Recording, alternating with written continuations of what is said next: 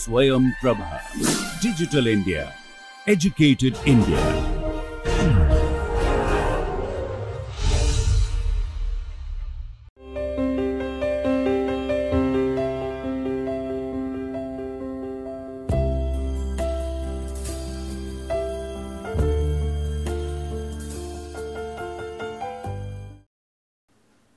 Welcome back. So, this is lecture number 38 on system of linear equations and we will continue uh, our discussion on this Gauss elimination technique which was uh, introduced in previous lecture.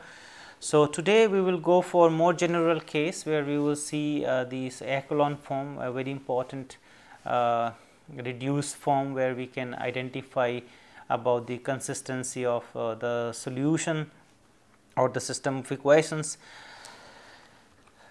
So, let us just go back to this what we have done in the previous lecture with the help of simple example. Now, we will consider a rather general uh, example where we have uh, matrix A which has m rows and n columns and then we have this x n by 1 and the right hand side uh, vector of order this m cross 1.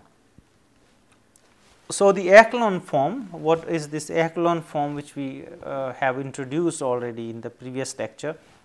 In general, this will have uh, this form. So, what exactly this let us discuss here.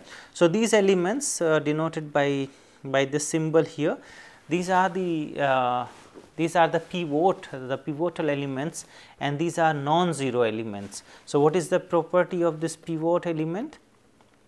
So, this uh, number we will call a pivot in this matrix when everything below this uh, is 0 and also the left this is the first element. So, we will not be talking about the left to this one. For instance, this one here this is the pivot element because everything to the left all the elements are 0 and here also all the elements are 0 and in this uh, submatrix everything is, is 0. So, this is we call the pivot element again in this reduced form in this echelon form which we call this matrix will be called uh, or this uh, this uh, element will be called pivot because everything here is 0 everything here is 0 and uh, in this submatrix everything is, is 0 here. Similarly, uh, this one is a pivot if it is a non-zero element and this uh, everything to this one is 0 and everything to this one is 0.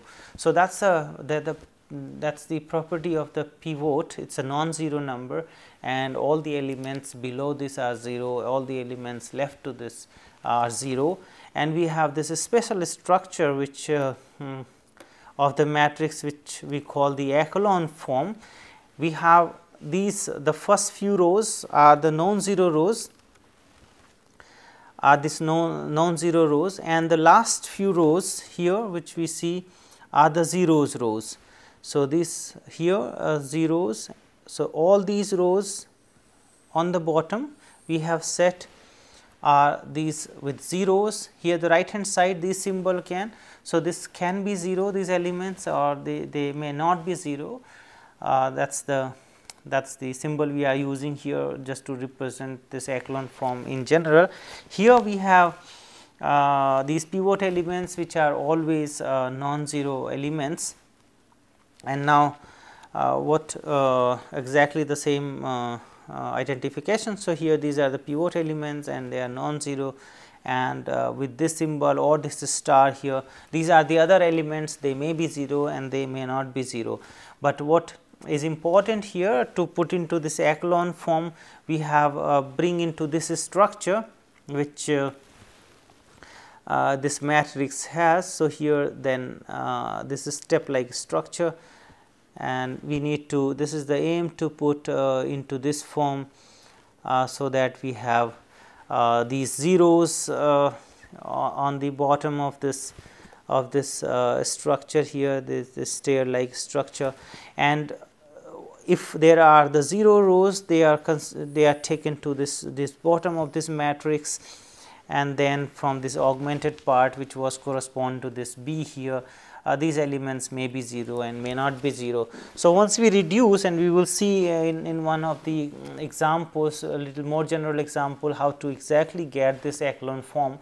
So, if you remember there this uh, Gauss elimination was basically having uh, three steps. The first one putting your system into this augmented matrix, then reducing the augmented matrix exactly into this echelon form which we call and then uh, we need to identify these pivotal elements, the pivot element, uh, the important uh, elements of this, this matrix and then we can uh, characterize about the solution also whether we are going to have a unique solution or the solution uh, does not exist or we have infinitely many solutions based on once we identify these pivot elements we can characterize uh, the system in the form of this consistency.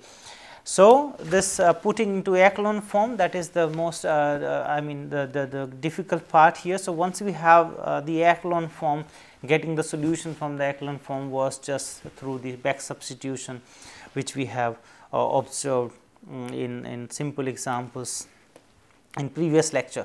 So, we have these uh, so called the pivot rows. So, here we have taken these pivot rows to the to the up and then uh, if something is 0 here in our matrix A that we have uh, brought down to this uh, bottom of the matrix. So, these are the pivot rows because the each rows has a pivot here now each rows has a pivot these are the pivotal rows pivot rows and the rest here these are called uh, the 0 rows.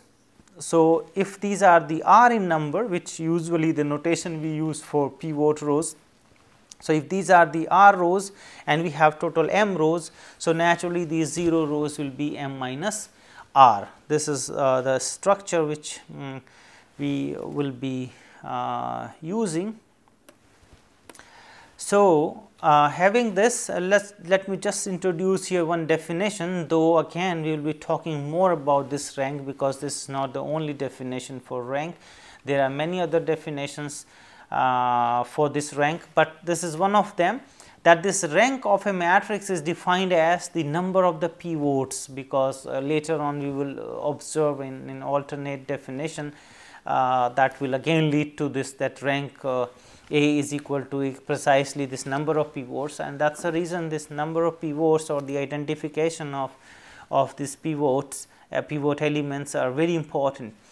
Uh, so, here the rank of the matrix another very important concept of, of a matrix is defined as this number r which is the number of the pivots. So, with this definition uh, we, we, we, we go ahead and later on we will be talking more about this rank. So, if we say that the rank A is equal to this number r the number of pivots in our this augmented matrix then what we can observe from this augmented matrix we can identify so many things. The one here is that if these elements here, if these elements, yeah, if these elements here in this uh, 0 rows, if they are not equal to 0, if they are not equal to 0, then the equations uh, become inconsistent. And why inconsistent? Because we have the situation that 0 is equal to something non-zero which we have already discussed in the previous lecture. So, if in our echelon form we got uh, these as non-zero number, then the system is inconsistent and meaning that the system has no solution. So, that is the first identification we are going to have uh, from this echelon form or in terms of the rank we can define now because we have defined already the rank of the matrix by this number r. So, what in terms of the r we we will be talking always about now the this is corresponding to the matrix A this first part uh, of this augmented matrix and the second one here this column uh, was this B and the whole matrix we are calling this A uh, B. So, this augmented matrix. So, the the point here is now the rank in this situation.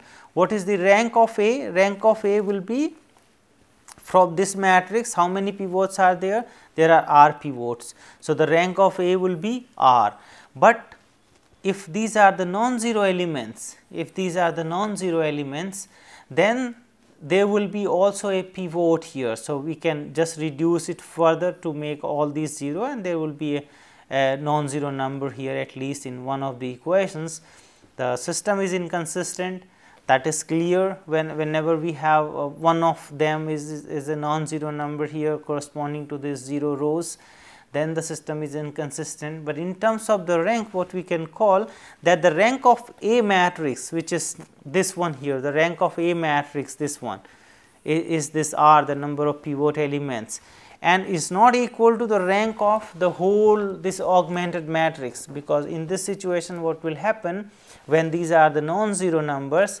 then this rank of this whole matrix that means the the number of pivots in the whole uh, matrix will be will be uh, equal to uh, I will be more than the rank of A. And in that case then we have uh, the inconsistency. So, if the rank of these two matrices rank of A and rank of this augmented matrix uh, these are different then we have inconsistency of the system. And this will exactly happen when we have these here corresponding to 0 rows. We have something non-zero then uh, there will be a pivot element here in this column as well in the last column or in other words we call that we have the pivot in the last column and this is uh, exactly the case of this inconsistency. So, in many ways we can uh, discuss this. So, one was uh, already here that because this is not equal to 0. So, inconsistent or we, we call this rightmost uh,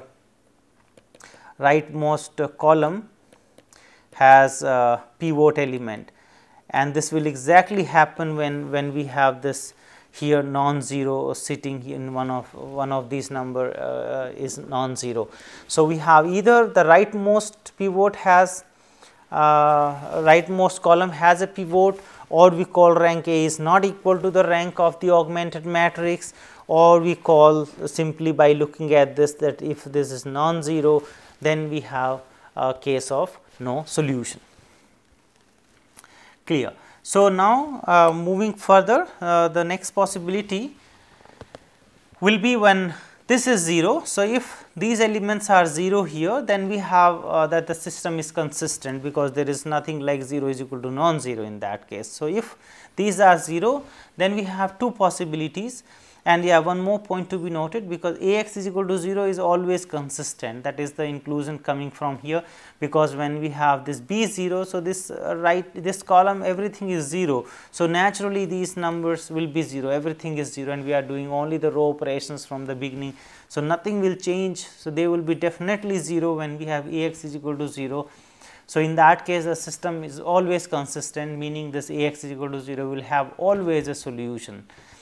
So, anyway, so we will be talking little more later. And now here when we uh, take this case that these are zeros meaning the system is consistent then there are two cases. The first here the number of pivot elements is equal to the number of unknowns. And this case also we have seen in the last lecture. And this is the case when we have exactly uh, or in other words that each column has a pivot because uh, the column columns are exactly the number of unknowns. So, if each column has a pivot then uh, the system has a unique solution because the, the, column cannot have more than one pivot that because of this property that below this everything should be 0. So, the each column can have only one pivot and this number of pivot equal to number of unknowns meaning that each column has a pivot because the number of columns equal to the number of unknowns.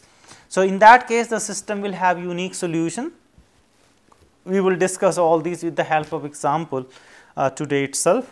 So, in terms of the rank now, if we talk about the rank of the A and rank of the AB. So, they will be the same now and that is equal to this R or equal to this N. So, that is the case of uh, in terms of the rank which we will uh, uh later on discuss uh, more in details. And uh, now coming to the another possibility that if this is 0 means we have the consistency and the number of pivot elements uh, is less than the number of unknowns. So, in this case what will happen? The system will have infinitely many solutions when this is the case. And uh, there we will introduce the concept of this free variables and dependent variables. And then we can uh, get the, the solution as well. I mean some uh, we can generate those infinitely many solutions or in terms of the rank what we will say again the rank of this A is equal to rank of B for the consistency, but this rank uh, is less than equal to the number of unknowns. This is what we, we, we talk about this consistency in terms of the rank as well. So, coming to the problem here we will discuss now uh, uh, this uh, solution of this system A x is equal to b where the augmented matrix corresponding to the system is written as here. So, we have uh, how many we have 4 rows and uh, we have uh, 5 columns. So, this is uh, a case where we have 5 unknowns actually. So, the number of columns means the number of unknowns because here this is A and uh, we have our system this A x is equal to is, is equal to b. So, this x here must be uh, to make it consistent with this a will have like x 1, x 2, x 3, x 4 and x 5. So, there are 5 unknowns and uh, therefore, this 5 columns each column this will corresponding to x 1, this is x 2, this is x 3, this is x 4, this is x 5. So, number of columns always represent the uh, I mean of A here, yeah, not the whole augmented matrix. This is corresponding to A, this is corresponding to B. That is what we have here. So, the number of uh, the columns in this A will represent the number of elements in our system. So, these are there are 5 unknowns and there is another beta here is sitting which uh, belongs to this real number. So, this beta is a real number and we will discuss that for what values of beta we have uh, the solution of the system or we do not have the solution all these consistency part will also depend on, on beta in this uh, particular case.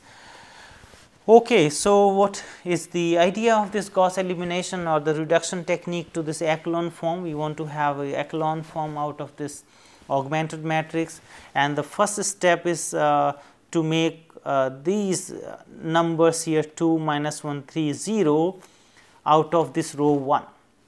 So, if we subtract from this row 2 2 times the row 1 then this will be 0. Our focus is just to set this 0 rest everything will change accordingly, but we will set we will eliminate this x 1 from equation number 2, we will eliminate this corresponding to x 1 this coefficient from equation number 3 and also from equation number uh, 4.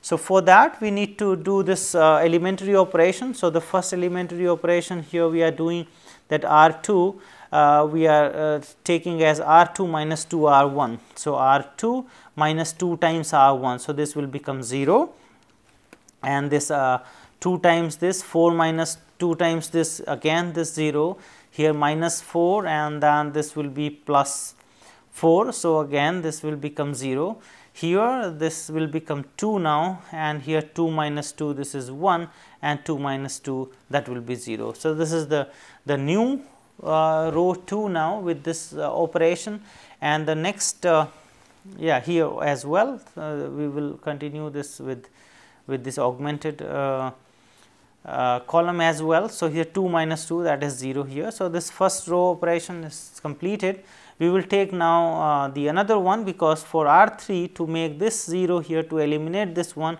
we need to just simply add into R 1. So, this will be now R 3 plus R 1 now the row 3. So, here when we add this is 0 when we add here also 0 when we add this here we will get 1 and when we add this we will get 2 here when we add 4 and 1 we will get 5 and this will be 4. So, this is the the, the second row operation we have done, we have eliminated already this uh, first variable and now we will do the third elementary operation that is on the row 4. So, this R 4 should be now R 4 minus 3 times R 1. So, R 4 minus 3 times R 1. So, with this this will set to be 0 here and here 6 and minus, uh, 6 again this is 0 minus 7 and then we have uh, plus 6. So, minus 1 here 1 and then plus 3. So, 4 and 1 minus 3 minus 2 and beta minus 3.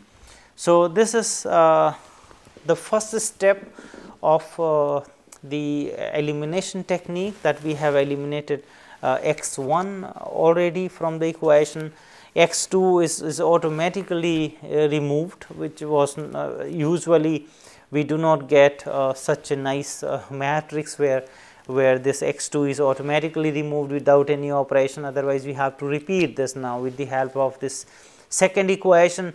We have to repeat all these to get uh, the to get to eliminate uh, the second variable from from equation 3 and 4 so but this is already eliminated and now we will go to the third one that from uh, now our 3 uh, the x 3 corresponding to this uh, x I mean x 3 uh, we have to make the 0 all the coefficients.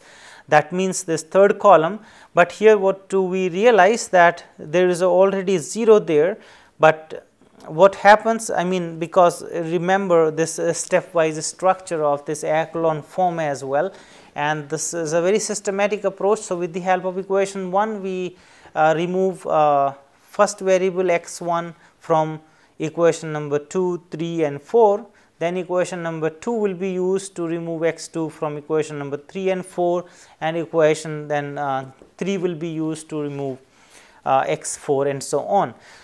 So, now what we realize here that if we change this if we, if we interchange the two equations the R 2 and R 3. So, we will already get here a 0 at this place and uh, and then we can set the other one also 0 to have this R 3 0.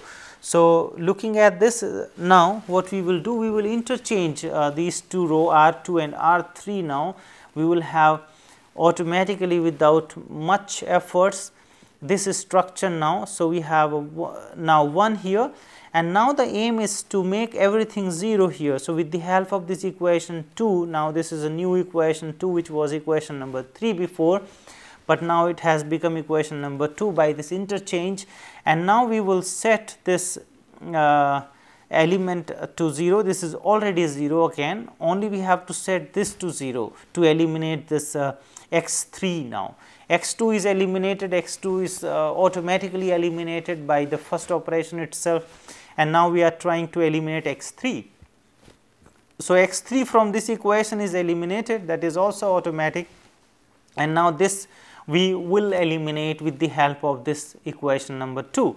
So, if we add equation number 2 here then this will be also eliminated. So, our next row operation is R 4 plus R 2 R 4 and then we will add this equation number 2 here. So, this will be or row number 2 this will be uh, set to 0. So, now by adding these uh, these two rows so, 2 and, and, and 4. So, what we will get minus 1 1 that is 0 here 2 and this 4 this will give 6 and 5 minus 2 this is 3 and 4 plus beta minus 3 this is beta plus 1.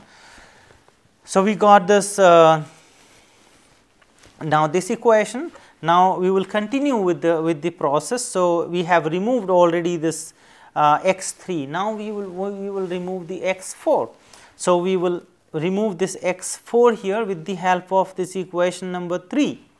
With the help of this R 3, we need to remove R 4, uh, the coefficient of, of x 4 in, in the row R 4. So, what we will do now, if we take 3 times of this and subtract from this R 4, then uh, we get the uh, 0 here at this level. So, doing this R 4 minus 3 R 3 R 4 minus 3 R 3 we will set this also 0. So, by doing so, so 3 times this this is 0 and see this uh, approach you, you if we go in this systematic way this will not be disturbed when we have all these 0 they will remain 0 because we are doing this operation with this row where left to this everything is 0. So, by doing so it, these numbers will not change these zeros will not change. So, here 6 minus 3 times 2. So, this is 0 again and 3 minus 3 this is also 0 and this beta plus 1 minus 0 into 3 that is beta plus 1. So, this is the reduced form we do not have anything uh, now further to reduce in this uh, case. So, this is the reduced form and now we will identify uh, we will take the first case when beta is not equal to 1.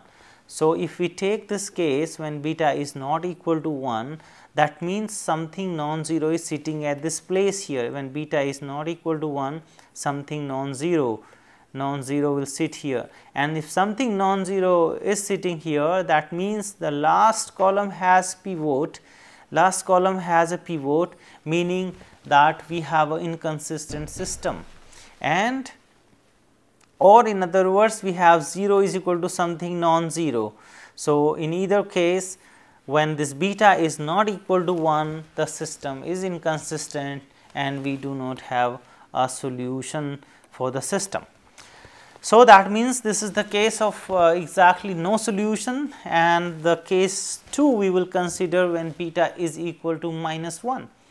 So, when beta is equal to minus 1 this is exactly the case where we will discuss about the solution because the system becomes consistent now the last row has become uh, 0. So, now this system is consistent we do not have pivot in the last column now. So, let us identify the pivots because that is another important step.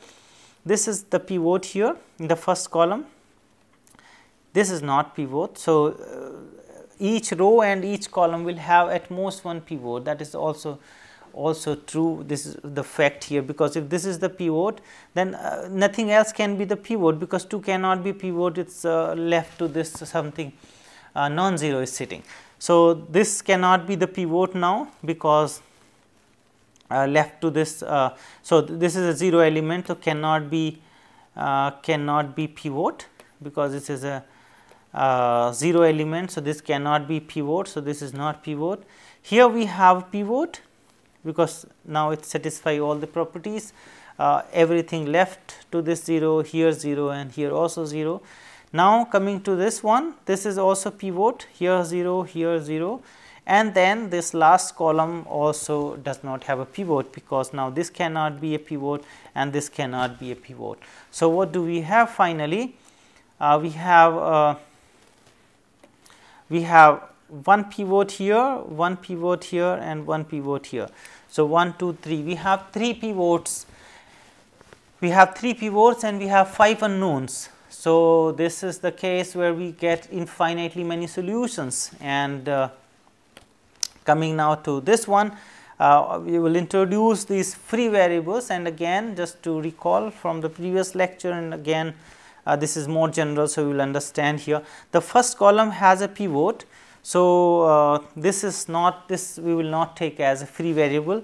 The second column does not have a pivot. So, this x 2 we have marked here as free variables and uh, this column has a pivot. So, this is corresponding to x 3 we are not uh, taking as free variable. So, this is uh, so called the dependent variables we can call. So, this x 3 is dependent this is not free we have the pivot there. So, wherever we have a pivot we uh, mark them as dependent variables and wherever we do not have a pivot we will mark them free variables. That is a that is a simple uh, simple algorithm we will follow here though it is not necessary that we have to do in this way, but this is a very systematic approach. So, go to the column number 1 if it has a pivot element mark this as a dependent variable. Go to the next column 2 it does not have a, a pivot element. There is no pivot element in column 2 we will mark as, uh, as, as a free variable. Column number 3 has a pivot. Then this is marked as a dependent variable again column number 4 has a pivot so this we have marked as a dependent variable column number 5 uh, again we have marked as a free variable because it does not have a pivot. By doing this now we have so many things uh, uh, in, in hand because free variables means we can choose, we can give the values whatever we like and whenever we have free variables in the system uh, that means we have infinitely many solutions. So, this is the case of infinitely many solutions since we have the free variables. Free variables again means they are free you can choose whatever you like. So, in this case we have two in fact free variables. So, we have more possibilities to to actually choose the choose the uh, variables now here. So, this x2 and x5 these are the two uh, free variables. So, we will take like x2 alpha 1 and x5 as alpha 2. In that case now from this equation number 3 we can write down x4. So, from here 2 times x4 is equal to minus uh, this x5 and x5 we have taken x2. So, this x4 we can write down in terms of alpha 2. Similarly, the x3 from this equation number 2 we can write down in terms of this the, the dependent uh, these free variables and also the x1 from equation number 1 we can write down in terms of these free variables alpha 1 and alpha 2.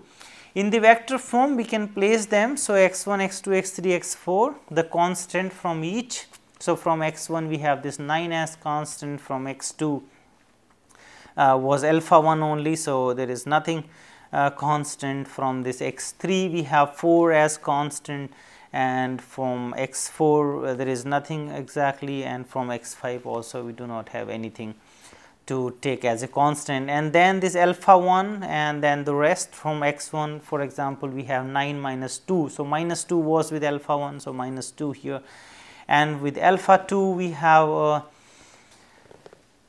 with with alpha 2 here in x 1 we have minus 9.5 though this is uh, taken here in this uh, vector. So, we can write down now these x 1 x 2 x 3 x 4 and x 5 in this particular form where we have first vector free from these free variables and then this is with alpha 1 the one free variable the vector again coming here and x 2 again this free vector uh, with this free variable again this vector is coming up.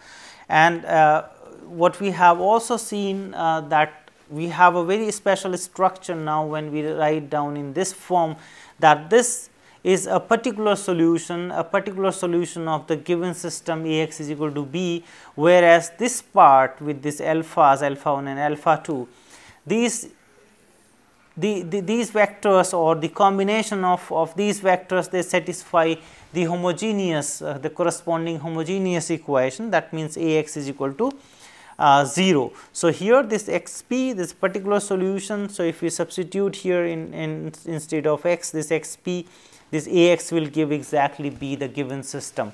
And here this, this part actually satisfy A x is equal to 0 and, and that is for as a total also we have uh, the solution. So, this x is a solution because because A and, and, this x has two parts a particular plus this x h and then we can use uh, this product rule here. So, A x p plus this A x h and this is 0 anyway and this A x p will give b. So, as a whole also this x will satisfy A x is equal to b, but if we go little more into the detail what we observe that actually this part is, is satisfying A x is equal to b and this part is satisfying A x is equal to 0. So, A x is equal to 0 and then uh, as a sum also they will satisfy naturally because of this reason here A x h is 0 and A x uh, this particular is b. So, we have at the end this b plus 0 which is b. So, but this is interesting now to note that we have uh, this um, structure and this is always possible to write down for whatever system. In fact, we have this nice result that the solution of a non-homogeneous linear system, non-homogeneous we call this A x is equal to b when the b is not 0 we call non-homogeneous, when b is 0 we call it homogeneous system.